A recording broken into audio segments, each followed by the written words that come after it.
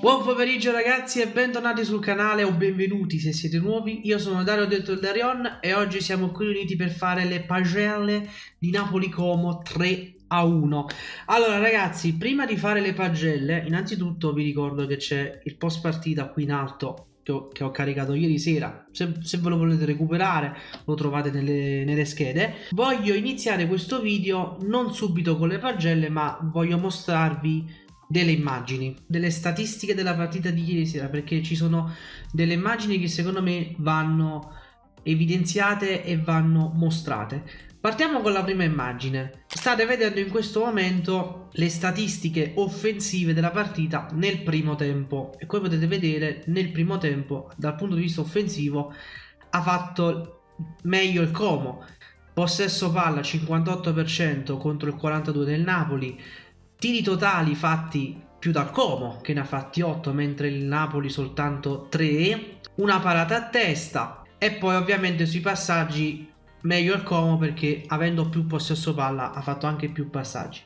Adesso vi mostro le stesse statistiche ma nel secondo tempo e come potete vedere la storia cambia. Non cambia il possesso palla che addirittura va a peggiorare, lo abbiamo detto anche nel prepartita, il Como è una squadra che eh, vuole avere il pallone tra i piedi e vuole dominare il il possesso. Il Napoli però dal punto di vista della creazione delle occasioni e degli expected goal decisamente meglio perché aveva fatto nel primo tempo un XG di 0.13 mentre nel secondo fa un XG di 1.78 rispetto al Como fa anche più tiri ci sono soltanto parate del portiere del Como e poi vabbè dal punto di vista dei passaggi bene o male lì quindi dal punto di vista offensivo il Napoli nel secondo tempo è stato migliore del Como.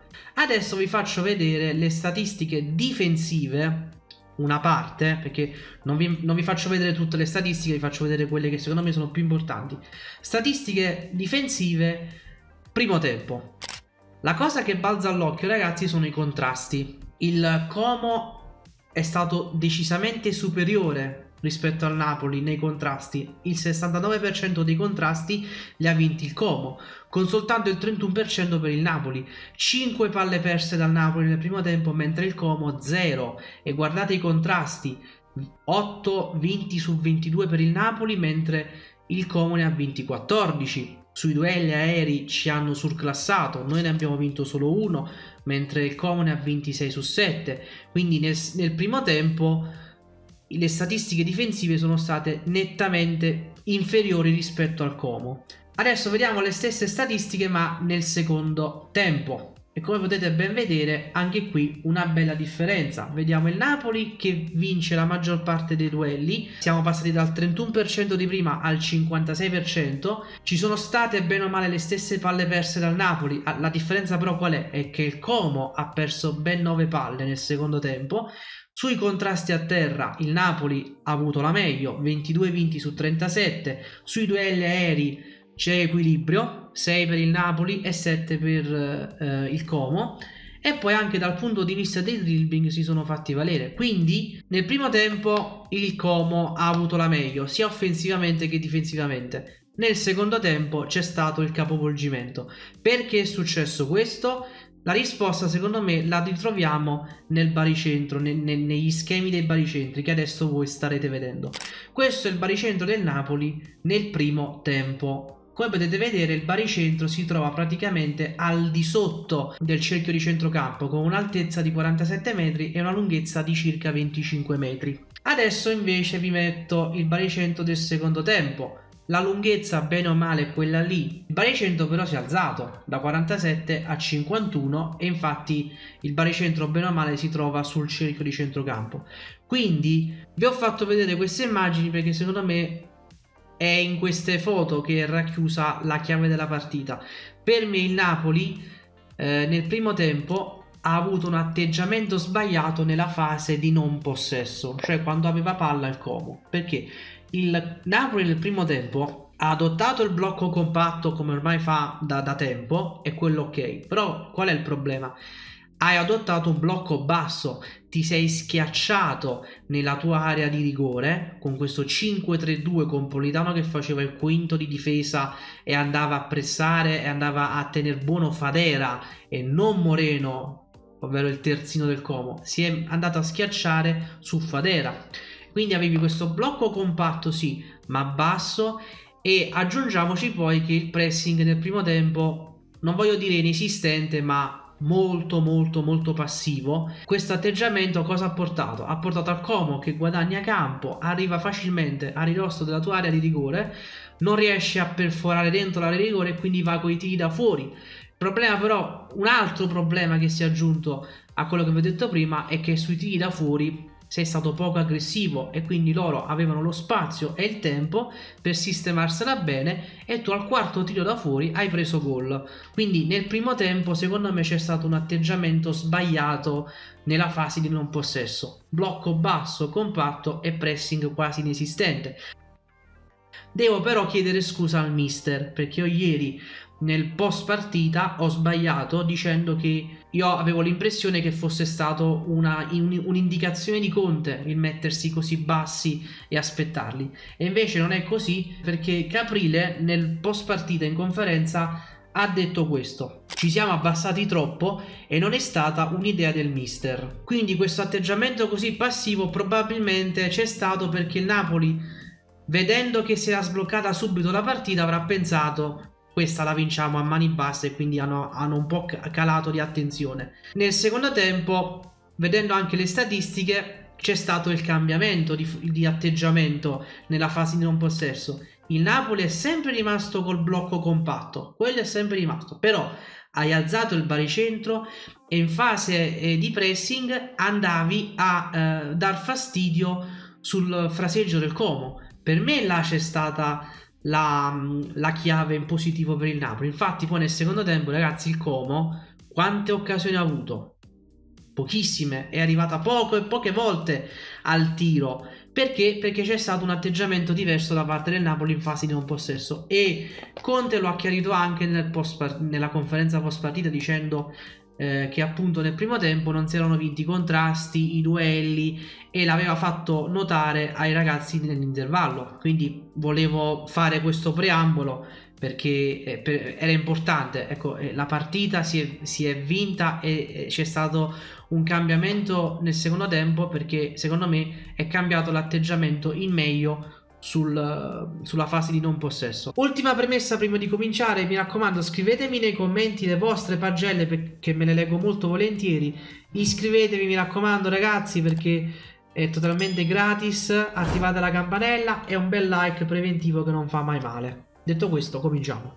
Eccoci qua, cominciamo subito e andiamo da Caprile che si prende ancora una volta un bel 6. Allora, per me non ha colpe sul gol perché lo ha detto anche lui in conferenza stampa. La palla è passata sotto le gambe di Buongiorno. Evidentemente lui l'ha vista troppo tardi, quindi per me non ha colpe. Poi per il resto, eh, ripeto, il Como ha fatto tanti tiri da fuori area, la maggior parte tiri che sono andati fuori, un palo però a livello di tiri in porta c'è stato solo il gol, di, il gol di strefezza che non era prendibile, quindi ha fatto veramente poco o nulla.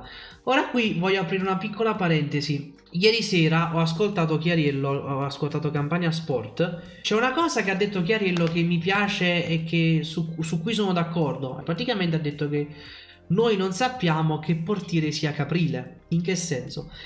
Nel senso che il Napoli sta avendo una fase difensiva talmente efficace che il portiere non sta avendo possibilità di fare parate. Il Napoli non sta facendo tirare in porta gli avversari, di conseguenza il portiere non può fare le parate. Quindi noi non sappiamo effettivamente se Caprile è un portiere di livello forte che ha delle pecche perché gli avversari non stanno mai tirando in porta meglio così meglio che non tirano in porta preferisco sinceramente questo comunque 6 poi di Lorenzo 6 e mezzo. Allora, Di Lorenzo partecipa al gol dell'1-0. Il gol dell'1-0, ragazzi, non ho fatto lo screenshot, però voglio dire una cosa. Di questo Napoli di Conte mi piace molto questo fatto che il Napoli accelera e rallenta l'azione a suo piacimento. Se vi rivedete il gol dell'1-0 vedete che eh, i primi 11-12 secondi dell'azione il Napoli fa questi passaggi lenti ritmi molto blandi, Rachmani che sale pian pianino, palla al piede. Poi tutto un tratto, nel giro di 10 secondi, tre passaggi e si è arrivato nell'area di rigore del Como, con McTominay che poi segna. Questo è il bello di del Napoli. Rallenta e accelera quando vuole a suo piacimento.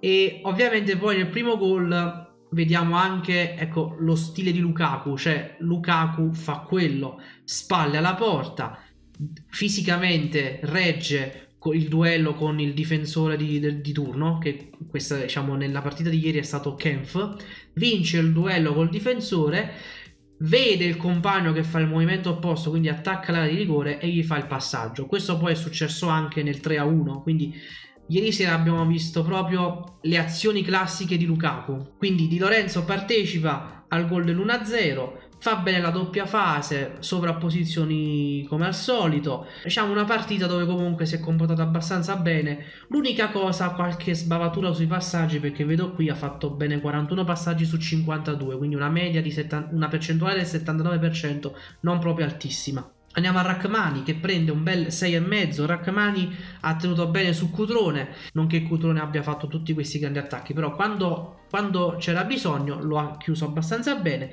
Male sui duelli aerei, eh, perché ne ha vinti 0 su 3. Una piccola sbavatura anche lui. In impostazione, come sempre, una garanzia. E anche lui partecipa al gol dell'1-0. Buongiorno 6. Allora, perché do il 6 a buongiorno? Perché eh, secondo me sul gol dell'1-1 di Strefezza e anche sul palo di Paz eh, è stato poco aggressivo sul pressing. Qua siamo sul palo di Paz. Abbiamo quindi Paz qui che si sta preparando al tiro da fuori. Come potete vedere abbiamo eh, Buongiorno qui e anche McTominay che sono poco, non so, poco aggressivi, un po' blandi nel pressare pazze. Vedete, c'è, c'è questa distanza tra i giocatori del Napoli e Paz che secondo me è tale da permettere al calciatore del Como di tirare da fuori. E poi sul gol di Strefezza, stessa cosa. Abbiamo qui Strefezza che sta per calciare e ancora una volta, buongiorno sopra e qui McTominay. Fanno un pressing abbastanza blando e Strefezza può andare al tiro senza troppa interferenza. Ecco, non hanno dato fastidio, ecco, hanno, hanno messo l'avversario nelle condizioni di calciare nel migliore dei modi. E secondo me potevano fare qualcosa di più. Ah, poi piccola parentesi, come potete vedere qui siamo in una situazione di difesa a 5 col blocco basso e con tutti i giocatori nella nostra area di rigore infatti come potete vedere qua sotto ci sta Politano che fa il quinto della difesa a 5 qui c'è Politano, Di Lorenzo, Rachmani Buongiorno qui e Olivera. Quindi fa il quinto della difesa a 5 e sta proprio su Fadera e non su Moreno che sta qui. Poi Olivera 7, ragazzi, a me la partita di Olivera ieri sera è piaciuta tantissimo. Difensivamente, secondo me, è stato il migliore eh, del Napoli. E poi eh, nel secondo tempo comunque lui è il giocatore che innesca il rigore. Praticamente Olivera va a fare questo pressing alto su uh, Sergi Roberto, quindi abbiamo qui Olivera che pressa alto Sergi Roberto, ruba palla, intanto la passa a Lukaku e nel mentre Olivera si butta dentro l'area, Sergi Roberto lo segue e poi fa fallo dentro l'area e quindi calcio di rigore. Quindi bravo Olivera a pressare alto Sergi Roberto e a rubare palla, bravo poi a scaricarla su Lukaku, a buttarsi dentro e quindi a indurre poi Sergi Roberto a fare rigore. Rispetto poi alle ultime partite l'ho visto anche più propositivo in avanti, ha spinto parecchio, si è sovrapposto sulla sinistra aiutando quindi anche Kvara è stato anche più propositivo di Di Lorenzo, infatti lo vedevamo spesso anche nell'area di rigore avversaria. E poi ragazzi, vabbè, eh, Lobotka, Lobotka 7,5, gli do la palma di migliore in campo. E che dire, allora, Lobotka nel primo tempo ha fatto una chiusura provvidenziale su un passaggio del Como dentro l'area di rigore nostra, e quindi ha fatto un salvataggio che poteva essere molto pericoloso. Ma ragazzi, nel secondo tempo Lobotka ha preso la cattedra e ci è salito sopra. Cioè, io vi voglio, voglio citare i dati. Contrasti a terra 27 su 7, passaggi completati 35 su 39, palle lunghe 4 su 5, intercettazioni, salvataggi, in scivolata vinti. Veramente dal punto di vista difensivo Lobotka ieri è stato perfetto e il plus sapete qual è? È il 3 a 1. Circola questo frame eh, in occasione del 3 a 1 dove si vede Lobotka, gira la testa verso l'area di rigore avversaria e già vede Lukaku che si sta posizionando per poi ripartire con un'eventuale ripartenza. Quindi Lobotka ha già anticipato quello che, quello che, sarebbe successo. Infatti, che fa? Vede Lukaku che si sta posizionando, quindi si abbassa, riceve palla e subito immediata verticalizzazione per Lukaku che poi farà il movimento per passarla a Neres. Quindi Lobotka sul 3 a 1 ha visto calcio dove altri non osano nemmeno guardare Guardate che citazione che vi faccio. Quindi Lobotka 7,5. Anghissa 6,5. Allora, Anghissa nel primo tempo si è un po' rivisto l'Anghissa delle primissime partite. Eh, però nel secondo anche lui sale in cattedra. Un po' tutti nel secondo tempo migliorano perché c'è stato l'atteggiamento in fasi non possesso che è migliorato. Recupera palloni, intercetta palloni, anche lui difensivamente parlando, specialmente nel secondo tempo, molto molto bene. Però voglio dire una cosa, ma il fallo su Anghissà, no? Il VAR, come dice, come ha detto Conte ieri era spento? No, perché in genere questi interventi vengono almeno rivisti al VAR. Pestone sul calciatore, palla che era già passata, niente. Ma questo non è niente, eh? Questo non è niente.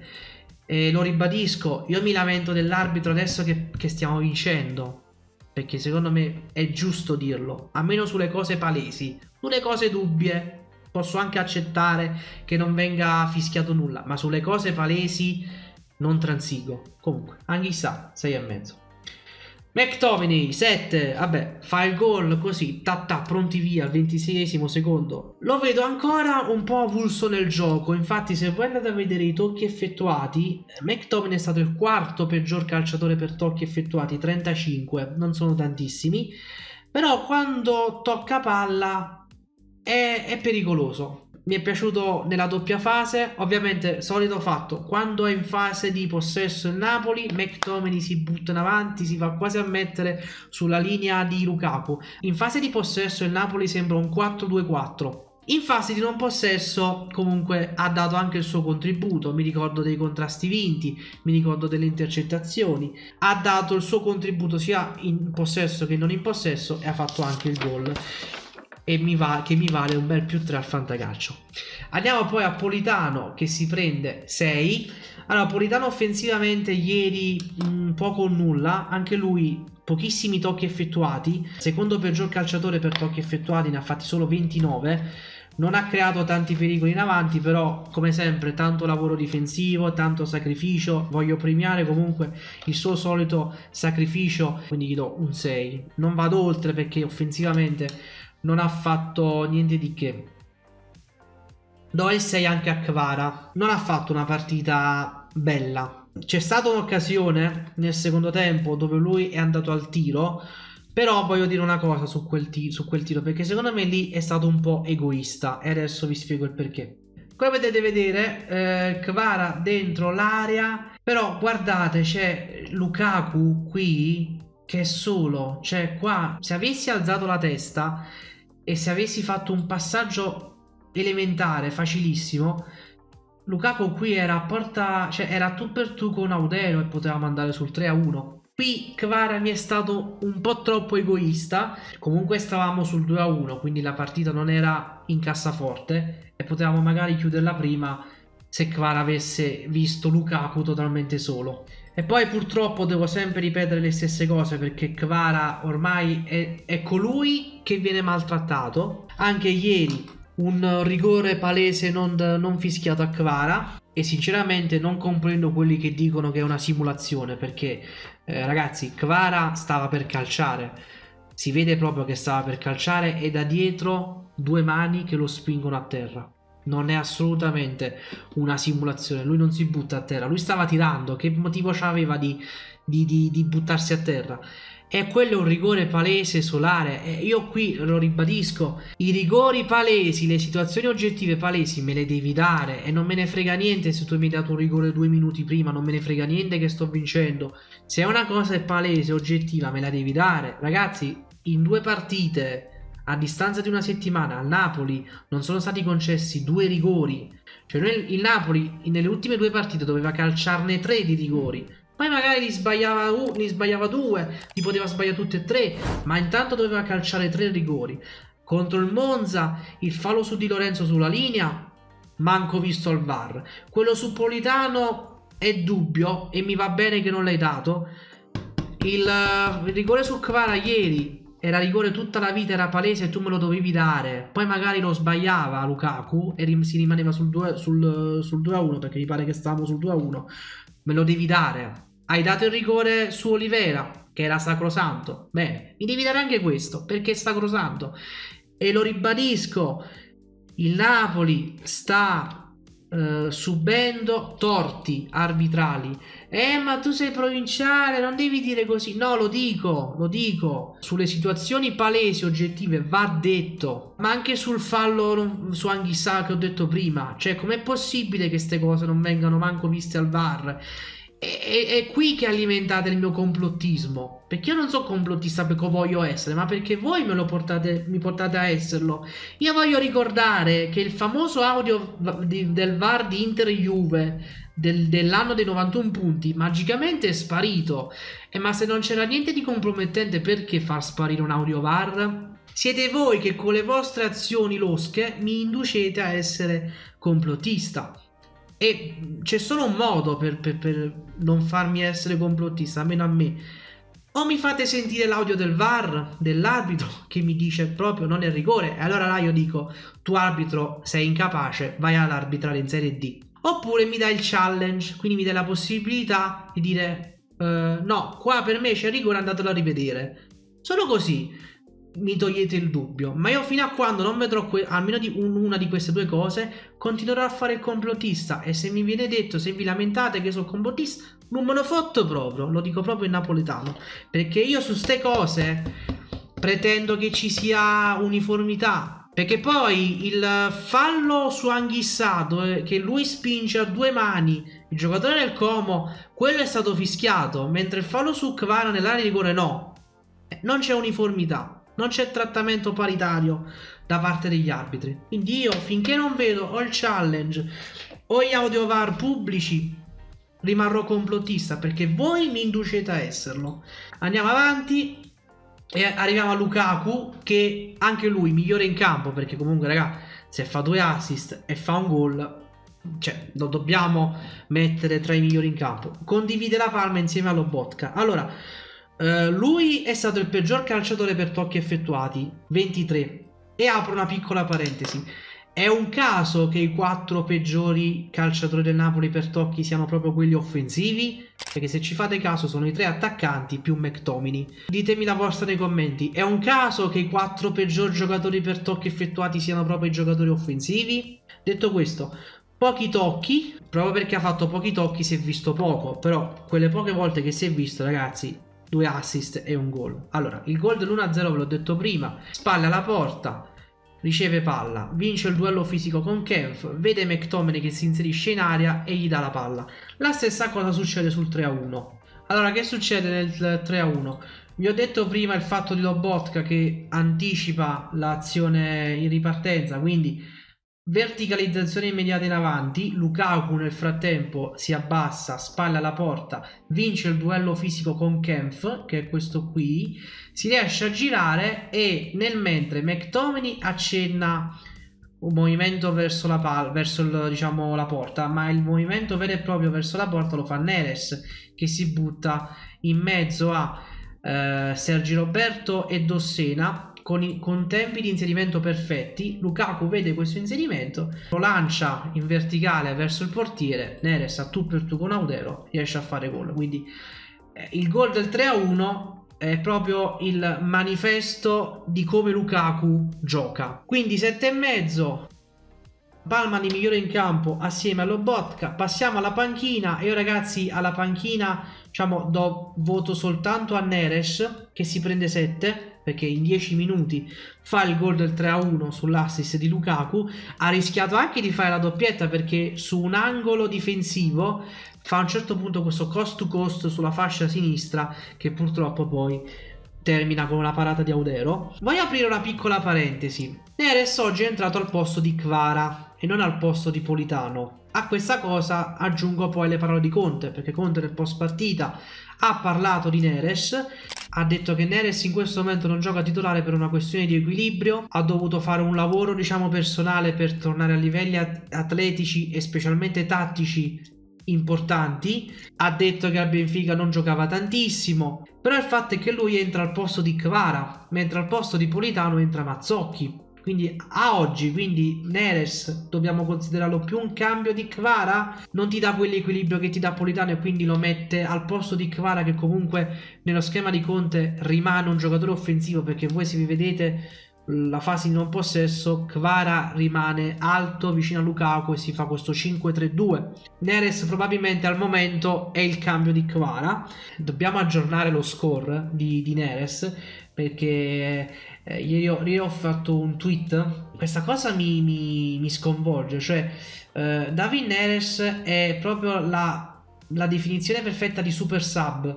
Lui ha fatto finora una cosa come 130-140 minuti tra Coppa e campionato. Ragazzi, due gol e quattro assist in 140 minuti. Cioè, questo ha giocato forse un sesto dei minuti di Politano, due gol e quattro assist.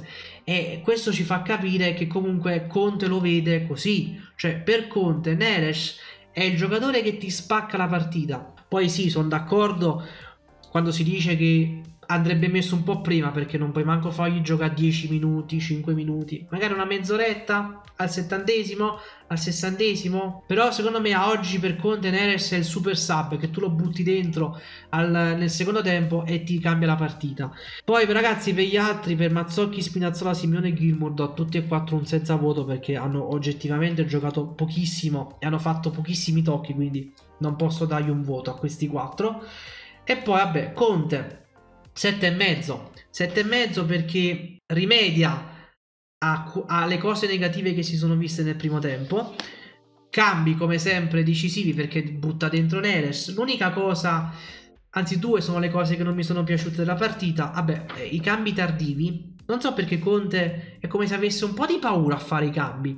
Cioè, tu comunque c'hai Gilmour che nel pre-partita hai detto che ti dà molta difficoltà perché è bravo, perché è forte. C'hai questo Neres che, che, è fortissimo, però li butti dentro gli ultimi 10 minuti. Gilmour è entrato al 90 al, 90, al 90 Secondo me qual, qualche minuto in più potrebbero giocarli questi ragazzi. Non so perché fa questi cambi così tardivi.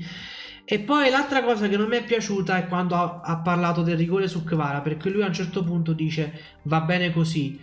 E poi dice eh, dobbiamo essere più forti di tutte le situazioni. E qui ritorna quello che diceva Spalletti, cioè il Napoli per vincere deve, deve, essere più forte di tutti quanti, deve annientarli gli avversari, non deve dargli proprio la possibilità manco di sperare. Non è piaciuto quando ha detto va bene così. No, no, mister, non va bene, non va bene. Sulle situazioni oggettive non va bene. Sul rigore di Kvara, eh, secondo me lì l'allenatore deve farsi sentire, deve farsi rispettare, perché noi ragazzi dai, noi non veniamo rispettati dagli arbitri, non veniamo rispettati, ve lo ripeto, ultime, nelle due partite con Come e Monza c'erano tre rigori, ne è stato dato solo uno e non va bene, ti devi far sentire lì secondo me, questa è una cosa che non mi è piaciuta onestamente. Però nel complesso, raga, 7,5 perché la partita l'ha svoltata nel secondo tempo. E quindi ragazzi, queste sono state le mie pagelle di eh, Napoli-Como. Vi aspetto nei commenti, sono curioso di vedere le vostre pagelle, un po' le vostre considerazioni sulla partita. Lasciate il like, mi raccomando, se il video vi è piaciuto. Iscrivetevi che è totalmente gratis e attivate poi la campanella, mi raccomando. Detto questo, adesso siamo in pausa nazionali. Evviva, che bello! Uh! Se ci saranno argomenti interessanti da trattare, io sarò qui e vi caricherò il video. Altrimenti ci vediamo quando sarà, ecco. Sicuramente ci rivediamo alla fine della pausa nazionali. Detto questo, forza Napoli sempre, io vi auguro un buon sabato e vi auguro anche una buona domenica e noi ci vediamo alla prossima. Ciao!